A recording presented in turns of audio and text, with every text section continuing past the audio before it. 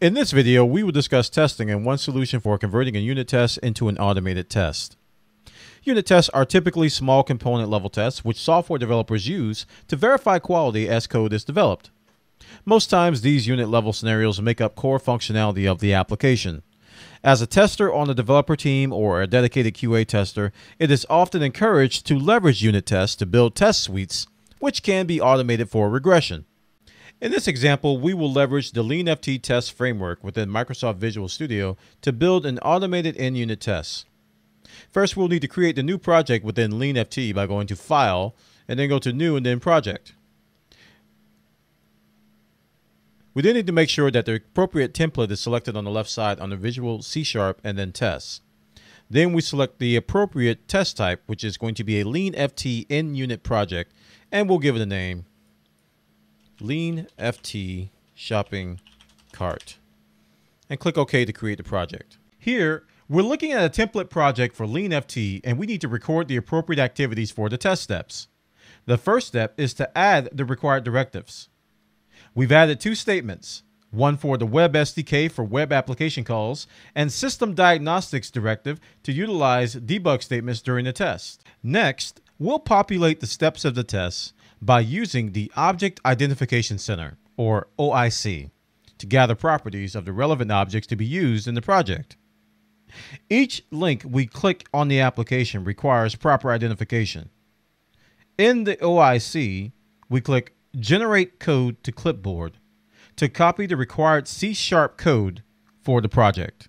Now that the code is copied to the clipboard, we switch over to LeanFT to paste the C sharp code into the project. Before we continue populating the project with code, we first must insert a step to invoke the desired web browser and launch the application.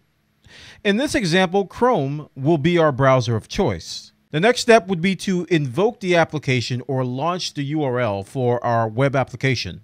In this case, it is www.advantageonlineshopping.com. To follow best practices and to improve readability, we'll next add some comments to the code to ensure that we know what's going on as we proceed through the test.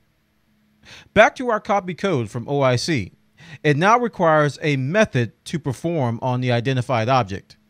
In this case, we choose the click method. We then repeat the process for every step of the test. Gather properties from the desired object, ensure they have been properly identified, and invoke the desired method on the object. This process continues until we have completed every desired step of the business process, from selecting the item, adding it to the cart, checking out, paying for the item, and ensuring that we get a confirmation message that the order completed. Next, we'll add a simple functionality checkpoint to ensure the process completes successfully. Now we run the tests and watch the application in action. Notice how the browser launches and it executes all the business process steps that we have set up within LeanFT. After the test completes, we then view the test results.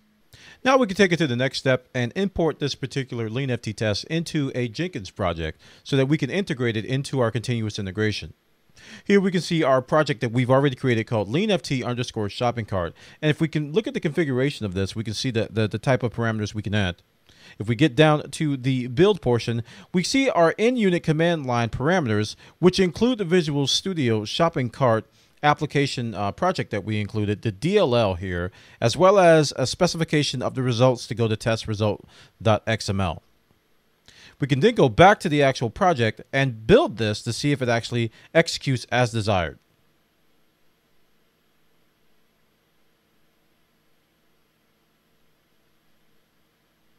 So the script kicks off automatically and it goes to the Advantage site and performs the steps. We can then see the outcome of this build within Jenkins right here. And we see that it has changed to a green color, indicating success. If we hover over this, it says success, and we can click on it to see the console output. And we see the test result it has no failures.